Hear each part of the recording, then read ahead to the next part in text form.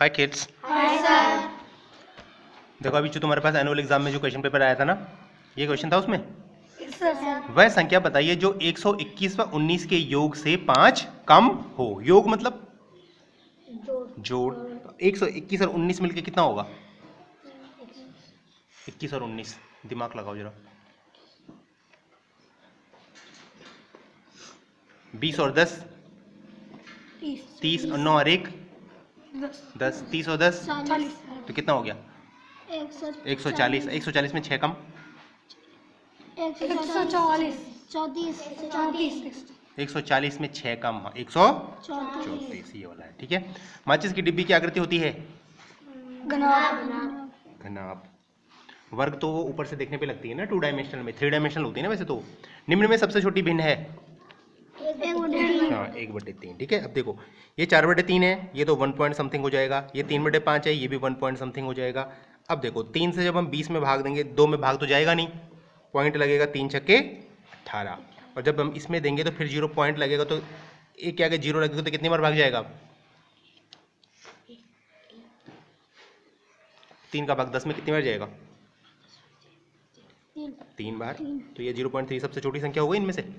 तो ये वाली सबसे छोटी भिन्न है। कितने पच्चीस पैसे के सिक्के मिलकर दो रुपए बनेंगे? आठ। ठीक है। घड़ी की सेकंड की सुई पंद्रह। घड़ी की सेकंड की सुई पंद्रह सेकंड में कितने अंश घूमती है? Ninety degree. ठीक है। अब देखो माना यहाँ पे थी सुई अब वो यहाँ पे चली गई तो कितने का डिग्री का कोण बन गई? नाइनटीन अब देखो क्या है ये? चार हज़ार बारह दशमलव दो व चार हज़ार ग्यारह दशमलव तीन नौ नौ का अंतर है। इसमें से इसको क्या करना है? घटाना है। Eleven point three nine nine. घटाओ। टेन में से नाइन गया। वन। नाइन में से नाइन गया। इलेवन में से थ्री गया। एट। वन में से वन गया। कितना कौन सा वाला आंसर? पहला वाला। निम्न प्रश्नों को हल करके सही उत्तर लिखिए। एक वृत्ति की त्रिज्या छः सेंटीमीटर है, उसका व्यास कितना होगा? बारह दुगना होता है ना? इन सबको जोड़ के कितना आएगा? अब देखो पाँच हज़ार साठ साठ और पाँच? पैंसठ।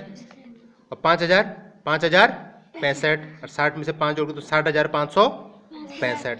साठ हज़ार पाँच सौ पैंसठ। इसमें कितना जोड़ना है हमने? ये छः लाख। सर ये तो लगाना है जी। ठीक है? यही तो लगाना है बस। पाँच। One two three four five one two three four five ठीक है? One two three four five ये लगाओ यहाँ पे. सिक्स ठीक हो गया? संख्या आई बासठ हज़ार सात सौ उनपचास। ये ये ये ये और ये को अवरोही क्रम में लिखिए। अवरोही मतलब? बड़े से छोटे को। आरोही मतलब छोटे से बड़े को और अवरोही मतलब बड़े से छोटे को। इनमें से सबसे बड़ी संख्या कौन सी है? हम्म, सबसे पहली ये। नौ सौ चौहत्तर। फिर? नौ सौ सैतालीस। फिर? सात सौ चौरानबे। ठीक है? फिर सात सौ उनपचास और लास्ट में चार सौ। बासठ बासठ तो सब में सेम ही है तो उसे तो पता चलेगा नहीं तो आगे वाली संख्याओं से फिर पता करना पड़ेगा देखो। छः हज़ार मीटर को किलोमीटर में बदलिए। छः छः किलोमीटर। अट्ठाईस के गुणनखंड कीजिए। चौदह हो सकता है चौदह दुने हो सकता है और और भी छोटा हो सकता है सात दुने चौदह दुने अट्ठाईस ठीक है? पैटर्न को पूरा करिए। कर सकते हैं पैटर्न को पूरा? यही ट्रायंगल बनेगा। अब देखो सबसे पहले पॉइंट यहाँ पे था ये फिर ये ऊपर गया फिर ये कॉर्नर में आया अब कहाँ जाएगा ये? नीचे। नीचे जाएगा ये। ठीक है? अब देखो ये पहले ये ऊपर थे फिर ये नीचे गए फिर ये इधर गए अब कहाँ जाएँगे ये? ऊपर। ठीक हो गया? निम्न प्रश्नों को हल करके सही उत्तर लिखिए। समकोण के एक तिहाई अंश का कोण पटरी व प्रकार व चांदी की सहायता से बनाई बना दोगे? समकोण का एक तिहाई मतलब कितने डिग्री का? समकोण तो 90 हो गया। एक तिहाई कितना हो गया उसका? 30 तो 30 डिग्री का हमको क्या बनाना है? कोण बनाना है। 30 डिग्री का कोण कैसे बनेगा? कैसे बनेगा? लगभग चांदी की सहायता से बनाना था ठीक है? यून कोण होता है ना 30 कोण। तीन बटे की कोई चार समतुल्य भिन्न लिखिए। बताओ। समतुल्य बिन। तीन बटे की। छः बटे। छः बटे? आठ। आठ। बारह बटे बारह। बारह बटे? सोलह। सोलह। चौबीस चौबीस। चौबीस बटे? Thirty two. Thirty two. एक और बताओ। अड़तालीस। अड़तालीस बटे? Fifty four four sixty four दो व सात के दो साझा गुणज लिखिए। दो व सात के दो साझा गुणज मतलब जो दो के पाड़े में भी आता है और सात के पाड़े में भी आता है। अट्ठाईस। वेरी गुड देहरादून से दिल्ली की दूरी 250 किलोमीटर है ठीक है? कितनी है दूरी? 250 किलोमीटर। अब वो बोल रहे हैं कि एक किलोमीटर बराबर कितना सेंटीमीटर है? 50 सेंटीमीटर। तो 250 किलोमीटर बराबर कितना सेंटीमीटर होगा? क्या करना पड़ेगा? गुणा। हम्म, किसको किससे? 250 को 50 से। गुणा करना पड़ेगा। ठीक हो गया? ज़ीरो का ज़ीरो पाँच पंजे पच्चीस पाँच दूनी दस दो बारह। बारह हज़ार पाँच सौ क्या हो जाएगा? सेंटीमीटर। ठीक है? एक अंडा पाँच रुपए का है तो ढाई दर्जन अंडे कितने रुपए के होंगे? ढाई दर्जन में कितने अंडे आ जाएँगे? तीस। तीस। तो तीस को पाँच सौ गुणा करके कितना आएगा? एक सौ पचास। रुपए।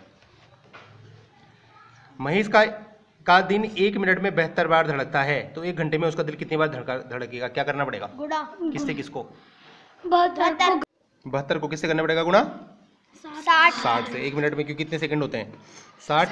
देखो ज़ीरो का ज़ीरो छः दूने बारह छः सौ बयालीस और एक तैतालीस। तो चार हज़ार तीन सौ बीस बार उसका दिल धड़केगा। कितने दिन मिनट में? एक दिन में एक मिनट में इसका दिल एक मिनट में बेहतर बार धड़कता है तो दो घंटे में उसका कितनी बार धड़केगा ये तो एक घंटे का हो गया। और दो घंटे में क्या करना पड़ेगा अब? जोड़। जोड़ इसी में इसको जोड़ना पड़ेगा। ठीक है? ज़ीरो चार छः और आठ। वैसे हम डायरेक्ट चाहे हम किससे भी गुणा कर सकते थे? साठ से तो हमने किया ही। एक सौ बीस। सौ भी कर सकते थे गुणा तो भी आंसर सेम ही आएगा। चाहे अंकित भाग को भिन्न में लिखिए बताओ भिन्न में कितना है ये? चार बटे दस। One two three four five six seven eight nine ten गुणा। संख्या चार हज़ार छः सौ इक्यावन व सात हज़ार आठ सौ बासठ में छः के स्थानीय मानों को गुणा करें। बताओ इसमें स्थानीय मान बताओ छः का। छः सौ। और इसमें साठ। तो इन दोनों को गुणा करना था। कर दोगे गुणा? जोड़ें। अब देखो इन्हीं के स्थानीय मानों को जोड़ना है। मतलब किस किस को जोड़ना है? छः सौ और साठ। साठ को। छः सौ साठ सिंपल है। दस सेंटीमीटर परिमाप का एक आयत बनाइए। परिमाप का जिसकी लंबाई तीन सेंटीमीटर है। अब लंबाई तो इसकी तीन सेंटीमीटर है। तो ये कितने हो जाएँगे? दो, दस। दो दो हो जाएँगे सिंपल है। ठीक है? तीन और तीन छः और दो आठ और दो दस। रेनू के बैंक खाते में इतने रुपए जमा हैं। उसने बारह एक लाख पच्चीस हज़ार छः सौ निकाल दिए। अब देखो उसके पास उसके खाते में कितने पैसे थे? Nine eight seven five double zero. ये उसके खाते में थे और ये उसने निकाल दिए। Six double zero. ठीक है? निकाल दिया मतलब? कम होंगे वो? ज़ीरो ज़ीरो फिफ्टीन में से सिक्स गया नाइन सिक्सटीन सिक्स में से फाइव गया वन यहाँ पे सिक्स और एट एट अब उसके खाते में इतने रुपए बचे हैं। अगले माह उसने फिर इतने रुपए उस खाते में डाल दिए। ये उसने उस खाते में फिर से डाल दिए। तो अब उसके खाते में खुद कितने रुपए? जोड़ो अब इसको। ज़ीरो ज़ीरो नाइन और फाइव फोर नाइन और वन नाइन और वन टेन और वन कैरी है। इलेवन सेवन सिक्स थर्टीन और वन फोर्टीन. फोर्टीन और एट वन नाइन. तो कितने खाए उसके खाते में? नौ लाख इकतालीस हज़ार चार सौ रुपए। अब देखो मेरी सोच की संख्या क्या होगी? यदि संख्या सौ के आधे से ज़्यादा है सौ के आधे से ज़्यादा मतलब कौन सी संख्या हो सकती है? पचास. सौ का आधा हो ना पचास उससे ज़्यादा। इक्यावन. इक्यावन? कोई सी कोई सी भी हो सकती है। देखो यह पाँच दहाई से ज़्यादा व छह दहाई से कम है। पाँच दहाई से ज़्यादा मतलब पचास से ज़्यादा और छह दहाई से कम मतलब साठ से कम। तो पता पचास और साठ के बीच में कोई भी संख्या हो सकती है। इकाई का अंक दहाई के अंक से दो ज़्यादा है। चौबीस। इकाई का अंक दहाई के अंक से दो। ज़्यादा है। तो देखो इकाई का दो है और दहाई का चार। दो अंकों का योग बारह है। क्या संख्या होगी वो? बारह है। छः छियासठ हो सकती है। तिरानबे हो सकती है। उनचालीस हो सकती है, चौरासी हो सकती है, अड़तालीस हो सकती है, इन दोनों संख्याओं का बारह है ना? ठीक है? मनोज ने एक कमरा बनाया जिसके फर्श पर वह टाइल बिछाना चाहता है। ठीक है? टाइल लगाना चाहता है वो। अब फर्श बोल रहे हैं कि 12 इंटू पंद्रह फीट का है। 12 इंटू पंद्रह फीट का मतलब है कि इन दोनों को गुणा करना है। कितना हो गया? बारह को पंद्रह से गुणा करो। बारह पंजे? साठ। बारह कम बारह और छः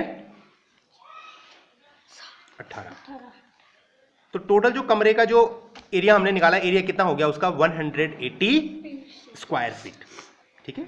स्क्वायर फीट अब वो बोल रहे कि भाई तीन बाई तीन फीट की टाइल लगाना चाहते तीन बाई तीन तीन मतलब कितने स्क्वायर फीट की टाइल है वो? नाइन और नाइन स्क्वायर फीट की वो टाइल उसमें लगाना चाहता है। तो कितनी टाइलें लगेंगी? क्या करना पड़ेगा? भाग। भाग दे दो इसका नौ का इसमें। कितनी टाइलें लगेंगी अब? कितने नंबर? एक सौ अस्सी। पचास। नब्बे हाँ। कितने नंबर एक सौ अस्सी?